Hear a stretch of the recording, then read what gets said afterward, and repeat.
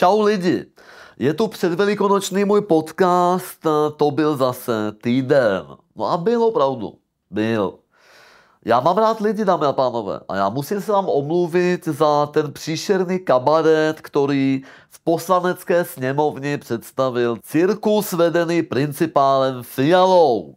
Kabaret s názvom Babiš bezpečnostné riziko. A jeho cílem samozřejmě bylo mě jako dyšrotovat, sešrotovat, no, jak se říká tomu slovu, jak mě chtěli, jako zpívá Adam Mišík, poch, poch, co?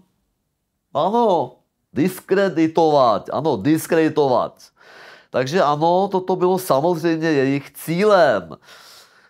No já jsem zvyklý, mě už na základné škole říkali slizounek, na středné křiváček a na výške udavačík. A e, já opravdu pro blaho národa udělám opravdu všetko. Udělám cokoliv.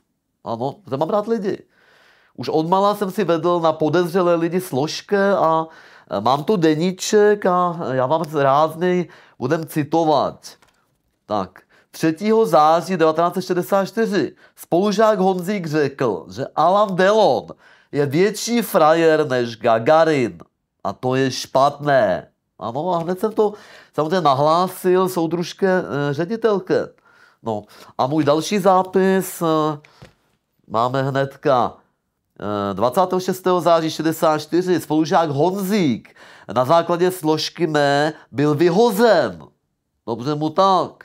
Dostal jsem pochvalu a bojí se mě i třídní učitelka.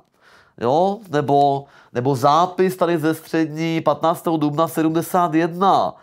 Tělocvikář Pazderka při vybíjené utrousil, že som zbabělý jako rudoarmějci. No takže já jsem si to psal do složky, píšem si to do složky a ten smrt bude rád, keď bude makat v kotelně. Takže vidíte, jsem velmi svědomitý a pracovitý a, a jsem na to pišný. Takže tolik e, můj deníček. No a jak je to tedy, prosím vás, s pronášením řízků z Agrofertu? Já samozřejmě žádné policajtě eh, nezaměstnávám. Žádné.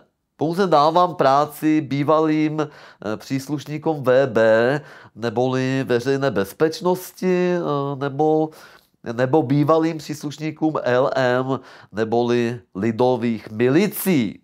To jsou lidi, kteří by pro náš národ umřeli. Ano. A kvůli takzvané demokracii přišli o práci, protože nič jiného bohužel neuměli. No a tak jim dávám práci a jsou skvělí. Eh, jeden se jmenuje Břeťa a eh, za poslední rok odhalil 350 řízků. 350. 100 rohlíků a pět pytlů černého čaje, který chtěli nepoctiví zaměstnanci Agroferte promést eh, z fabriky domů. A divili byste se, kam všude tyto potraviny lidé ukrývají. Nejen do kalhotek to ukrývají, eh, ty potraviny pod prsenek, ale i do bot, eh, do čepice, zadké, pod paždě, nosní a ušní dírke a další útrobe. A protože v Agrofertě jsme udržitelní, tak vše potom vyčistíme a opět dáme na druhý den na obědy. No vzhledem, dámy a pánové, k Fialově drahotě eh, těchto pokusů o krádeže přibývá. Takže jsme se zkrátka rozhodli eh, vybudovat bezpečnostní ráme, takové ty bezpečnostní ráme, eh, před kterými se každý zaměstnanec svlékne pěkně do naha a bude samozřejmě detailně prohledán. No a současně ti, čo něco se pokusili ukrást, tak eh, budou mít vytetovaný kuřecí dráp. Ano. A za tři drápe budou vyhozeni na dobro. Takže takhle jsme to vymysleli a myslím, že je to hezké. No a na závěr dnešního podcasta budou Velikonoce, dámy a pánové.